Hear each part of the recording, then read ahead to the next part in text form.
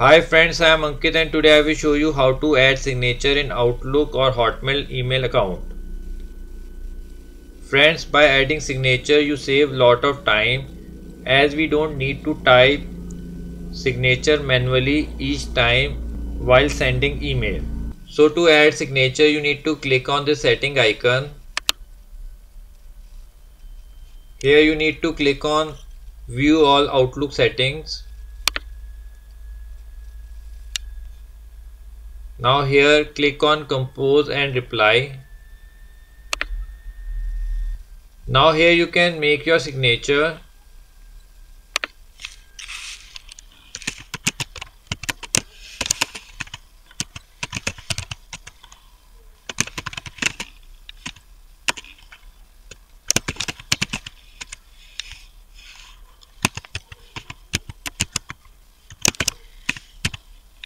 Now from here you can make your text bold or can change the color.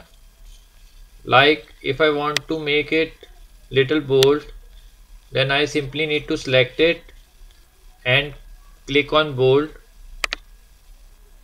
And if you want to change color then you need to select the text and select the color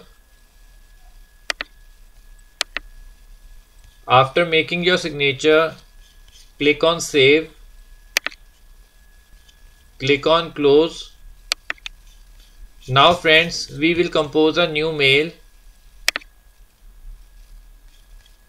Now friends, as you can see, now our signature is automatically added in our mail. So friends, like this you can very easily add a signature in your Hotmail or Outlook email account. I hope you find this video useful.